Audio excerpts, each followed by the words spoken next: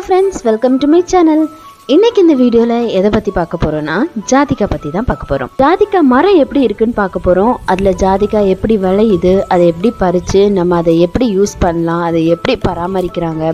அதுக்கப்புறமா அந்த ஜாதிக்காய் தோடு எதுக்கு யூஸ் ஆகுது பத்திரி பருப்பு எல்லாமே எதுக்கு யூஸ் பண்ணுறாங்க அதோட ஹெல்த் பெனிஃபிட்ஸ் என்ன பியூட்டி பெனிஃபிட்ஸ் என்னன்னு நம்ம இந்த வீடியோவில் பார்க்கலாம். நீங்கள் பார்த்துட்ருக்கிறது ஜாதிக்காய் மரம். இந்த ஜாதிக்காய் மரம் பெரும்பாலும் எல்லா இடங்கள்லையுமே வளரும். மலை பிரதேசங்களில் கேரளா சைடெல்லாம் நிறையவே ஈல்டு கொடுக்கும். நிறைய காய்கள் காய்க்கும். நம்ம இடத்துல வைக்கும்போது அது எவ்வளோ காய்கள் வரும்னு தெரியலை. இதில் வந்து ஜாதிக்காயில் ரெண்டு வகை இருக்குது ஆண் ஜாதிக்காய் பெண் ஜாதிக்காய். ரெண்டுமே காய்க்கும். பட் பெண் ஜாதிக்காய் தான் நிறையவே காய்கள் காய்க்கும். எஸ்டேட்டுகள்லாம் ஜாதிக்காய் வைக்கும்போது ரெண்டுமே கலந்து வைப்பாங்க. இந்த மாதிரி கலந்து வைக்கும் போது அப்பதான் பாலினேஷன் நடந்து நமக்கு நிறைய காய்கள் வந்து உற்பத்தி ஆகும் ஜாதிக்காயை பொறுத்தவரை வருடம் முழுவதுமே காய்கள் இருந்துகிட்டே தான் இருக்கும். ஜாதிக்காய் அதிகமாக விளைச்சல் தரக்கூடிய மாதம் எதுனா இந்த பிப்ரவரியிலிருந்து ஏப்ரல் மே அந்த மாதங்கள் வரதான். மற்ற மாதங்களில் காய்கள் இருந்துக்கிட்டே இருக்கும். இந்த அளவு நிறைய காய்கள் காய்க்காது. பெரும்பாலும் நமக்கு வருடம் முழுவதும் ஒரு வருமானம் தரக்கூடிய மரமாக தான் இந்த ஜாதிக்காய் மரம் இருக்குது நல்லா விளைந்த ஜாதிக்காய் வந்து இந்த மாதிரி தோடு வந்து பிரிஞ்சு உள்ளே இருக்கக்கூடிய ஜாதி பத்திரி பருப்பு எல்லாம் வெளியில் தெரியும். இந்த மாதிரி இருந்துச்சுன்னா அது வந்து முழு விளைச்சல் அடைந்த ஜாதிக்காவாக இருக்கும்.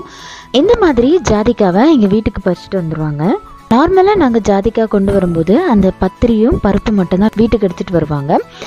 தோடை வந்து அங்கேயே விட்டுருவாங்க. நான் இப்போ இந்த வீடியோக்காக நான் ஃபுல்லாகவே இந்த தோடோடையே ஜாதிக்காவை எடுத்துகிட்டு வந்திருக்கோம். நம்ம இனி இதை கட் பண்ணி உள்ள இருக்க பத்திரி பருப்பு எல்லாத்தையும் பற்றி பார்க்கலாம். இந்த தோடு வந்து எதுக்கு யூஸ் பண்ணுறாங்கன்னா நீங்கள் குற்றாலம் சைடெல்லாம் போனீங்கன்னா ஜாதிக்காய் ஊறுகான்னு வச்சுருப்பாங்க.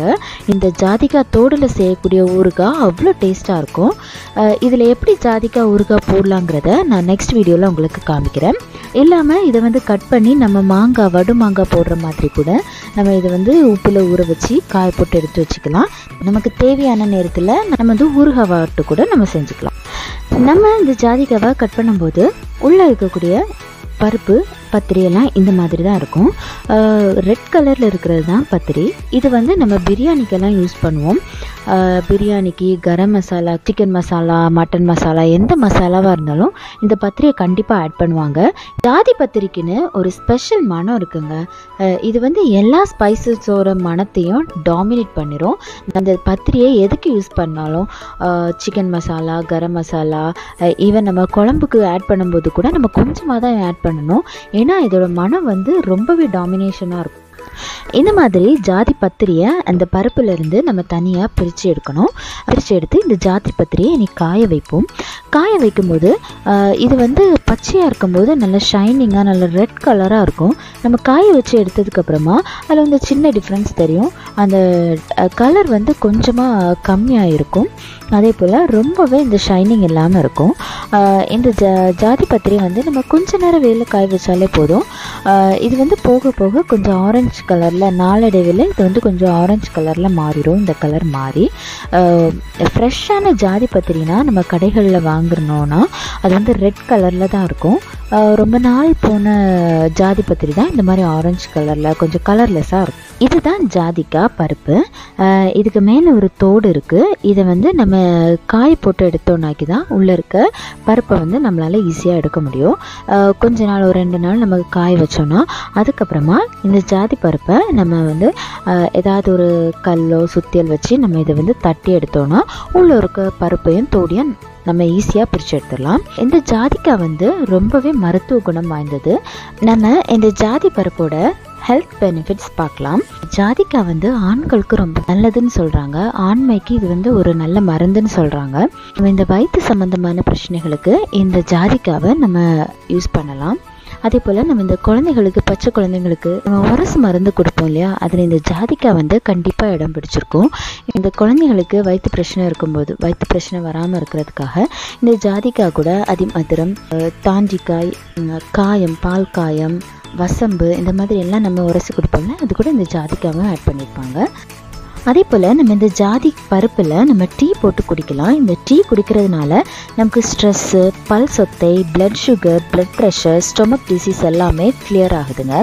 இந்த டீ வந்து ப்ரிப்பேர் பண்ணுறதுக்கு கொஞ்சமாக சுக்கு அப்புறமா ஜாதிக்காய் பொடி. இந்த ரெண்டையுமே நம்ம நல்லா பாயில் பண்ணி காலையில் நம்ம எடுத்துகிட்டு வந்தோம்னா நமக்கு இருக்கக்கூடிய டைஜஷன் கேஸ்ட்ரிக் ப்ராப்ளத்துக்கெல்லாம் இந்த டீ வந்து ஹெல்ப் பண்ணுது. மோஷன் ப்ராப்ளம் இருக்கவங்க ஒரு டேபிள் ஸ்பூன் ஜாதிக்காய் பொடியை எம்டி வாட்டரில் நம்ம ஒரு கிளாஸ் வாட்டரில் நம்ம கலந்து எம்டி ஸ்டொமக்கில் நம்ம குடிக்கும்போது நமக்கு மோஷன் ப்ராப்ளம் வந்து சரியாகுது. ஹோமியோபதியில் இதில் வந்து இந்த ஜாதிக்காய் வந்து நிறைய வியாதிகளுக்கு மருந்தாக யூஸ் பண்ணுறாங்க அதே போல் பியூட்டிஷியன்ஸும் இந்த ஜாதி பருப்பை வந்து நிறையவே யூஸ் பண்ணுறாங்க நெக்ஸ்ட்டு நம்ம இந்த ஜாதி பருப்பில் இருக்கக்கூடிய பியூட்டி பெனிஃபிட்ஸை நம்ம பார்க்கலாம்.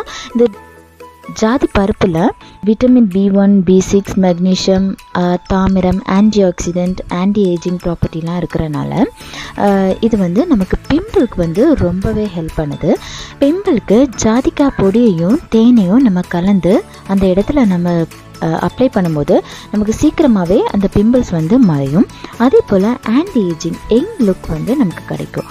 சீக்கிரமாகவே வயதாகிற தோட்டத்துலேருந்து இந்த ஜாதிக்காய் பொடி நமக்கு ஹெல்ப் பண்ணுது. அதுக்காக நம்ம தயிர் ஜாதிக்காய் பொடி தேன் இந்த மூணையும் கலந்து நம்ம போடுறனால நமக்கு வந்து யங் லுக்கு கிடைக்கும். அதே மாதிரி நம்ம இந்த ஜாதிக்காய் பொடியில் டோனர் கூட ப்ரிப்பேர் பண்ணலாம். அதுக்காக தேங்காய் பால் இல்லைனாக்கி காய்ச்சாத பசும்பால் எடுத்துக்கோங்க. நீங்கள் தேங்காய் பால் எடுத்தீங்கன்னா அதில் வந்து ரொம்பவே நிறைய நியூட்ரிஷன் இருக்கனால உங்களுக்கு சீக்கிரமாகவே ரிசல்ட் கிடைக்கும். அது கூட நம்ம கொஞ்சம் ஜாதிக்காய் பொடியும் மிக்ஸ் பண்ணி நம்ம டோனர் மாதிரி நம்ம அப்ளை பண்ணும்போது ஃபேஸ் வந்து ரொம்ப க்ளோவாக நல்லா சாஃப்டான ஒரு ஃபேஸ் நமக்கு கிடைக்கும். நீங்களும் கண்டிப்பாக இந்த டிப்ஸ் எல்லாத்தையும் ட்ரை பண்ணி பாருங்கள் இந்த ஜாதி பருப்பு வந்து சீக்கிரமாகவே பூசணம் பூத்துரும் ஃபங்கஸ் வந்துடும் ஸோ அதனால் இந்த ஜாதி பருப்பை நல்லா வெயிலில் காய வச்சு பொடி செஞ்சு ஒரு ஈரம் இல்லாத கண்டெய்னரில் நம்ம ஸ்டோர் பண்ணி வச்சுக்கலாம். இந்த ஜாதி பருப்பை நம்ம மருந்தாக உள்ள கன்சியூம் பண்ணும்போது நிறைய எடுத்துக்க வேண்டாம். மேக்ஸிமம் ஒரு ஒன் கிராம் கிட்ட ஒரு நாளைக்கு எடுத்தால் போதும். ஏன்னா இதில் உள்ள ட்ரக்ஸ் கண்டென்ட் ப்ராப்பர்ட்டி வந்து நம்ம உடம்புக்கு வந்து தீங்கு விளைவிக்கும். மறக்காம வீடியோவை லைக் பண்ணுங்க ஷேர் பண்ணுங்க கமெண்ட் பண்ணுங்க. எனக்கு ஒரு மோட்டிவேஷனாக இருக்கும். மறுபடியும் ஒரு நல்ல வீடியோவில் உங்களை மீண்டும் சந்திக்கிறேன். டாடா பாய் பாய்